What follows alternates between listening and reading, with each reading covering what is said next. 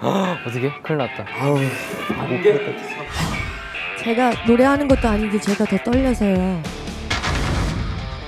도끼가 선택한 한채영의 마음을 움직인 소개합니다. 궁금하다. 대박! 소름 돋았어. 이게 무슨 일이 벌어지는 거지? 들어보지 못했던 섹시한? 어, 더 섹시하네?